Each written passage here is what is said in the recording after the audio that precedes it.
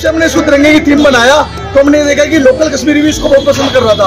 और हमने लोगों को बताया कि तिरंगा लगकर यहाँ पर यात्रा हो रही है और किस तरीके से यात्रा हो रही है, जब से इस भंडारे का हम तिरंगे वाला भंडारा बोल।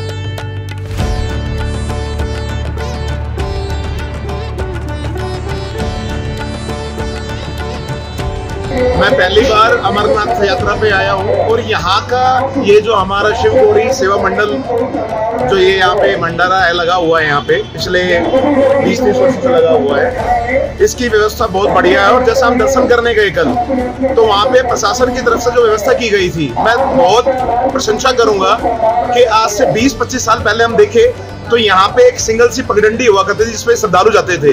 और आज एक बहुत लंबा चौड़ा रोड प्रशासन ने बनाया है, और जो यहाँ के लोकल एडमिनिस्ट्रेशन ने जिस तरह से यहाँ पे काम किया है, वो तारीफ़ के काबिल है। श्रद्धालुओं का अच्छे तरीके से यहाँ पे ख्याल रखा जाता है और किसी भी चीज़ की कोई कमी होती है श्रद्धालु को।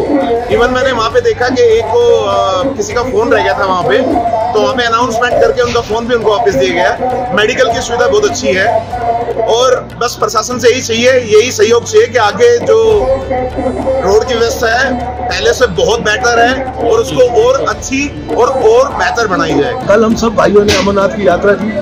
प्रशासन की तरफ़ से बहुत ही अच्छा प्रबंध किया गया। मैं वहाँ बीमार हो गया। उसी टाइम मुझे फौजी भाई और पुलिस वाले अपने मिलिट्री हॉस्पिटल में ले गए। मुझे स्वस्थ कर दिया। और यहाँ जाने की व्यवस्था, अपने शिव पूरी सेवा मंडल है। हम अपनी फैमिली के साथ प्रशासन इतना ही अच्छा प्रबंध किया, लाइनें लगाई।